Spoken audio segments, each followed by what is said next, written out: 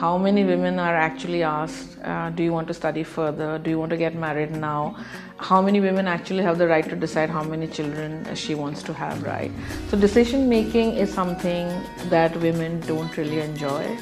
Uh, voices are something that women don't normally have. So, we went out to at least about 300,000 women in the country and we asked them that when you go to seek health services, be it for reproductive health, uh, be it for maternal health, what is that one thing that you really, really want? And for a long time, they just kept quiet, like you know what to say. I mean, nobody, nobody had asked them.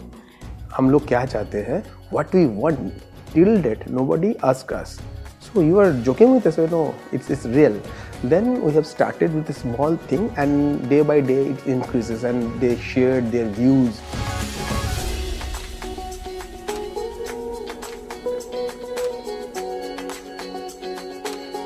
मैं चाहती हूँ कि labour room में जो भी staff रहें वो understanding cooperative के साथ साथ ऐसा भी होना चाहिए कि पेशेंट से बात ज़रूर करें। मैं चाहती हूँ कि हर अस्पताल में हर वार्ड में एक डॉक्टर हमेशा रहे ताकि हर मरीज़ की जो परेशानी दिक्कतें हैं उसको दूर कर सके उसी वक्त। मैं ये चाहती हूँ कि डॉक्टर लोग मरीज़ लोगों के साथ में अच्छा व्यवहार करें अच्छी तरीकों से उन्हें देखभाल करें।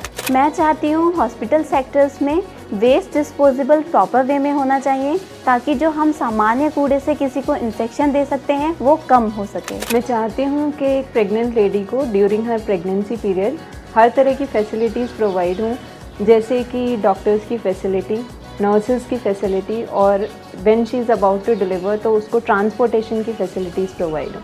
मैं चाहती हूँ कि हर हॉस्पिटल में हर पेशेंट के बेड अलग अलग होना चाहिए।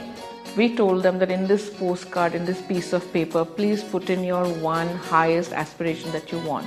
The idea was that we look at what women are asking for and then we put forward their ask to powerful people, to policy makers who actually design and implement policies. So we talked to tribal women, we talked to rural women, we talked to women in desert areas, we went and talked to uh, nomadic tribes we went and talked to women living in semi-urban areas. So there was a lot of diversity. So the campaign, which was uh, an Indian campaign, uh, we started in 2017. It went global in 2018, and as of today, we have reached 1.2 million women across the world. We came to know many things which are very basic for us as a technical person, but they are most important for women. We looked at what women are asking for and as you can uh, you could see women are asking for respectful care. Women are asking for no disrespect and abuse when they go to facilities. Women are asking for clean facilities. Women are asking for entitlements and a clear process of dispersing entitlements.